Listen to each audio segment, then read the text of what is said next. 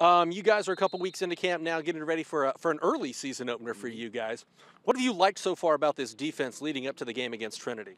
I like uh, you know our experience going into this year. You know, uh, it's like a third third year running this defense, so you know that's something you know most of the guys caught on, and uh, most of the guys out there starting have played you know either started or played this year. So that's one of the things I really like. What are some of the focuses you guys are are really zoning in on to get ready for Trinity? What are some of the things you guys are working on really?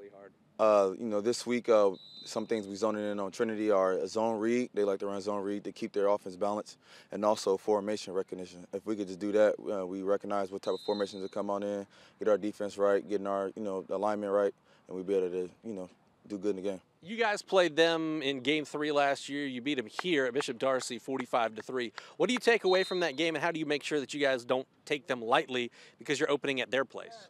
Uh, one thing we don't we we not tried to do is uh, not trying to play at their level. Uh, we're trying to you know play at our caliber, our speed, you know our physicality, and you know and that's one thing you know we got advantage of, and that's that's that.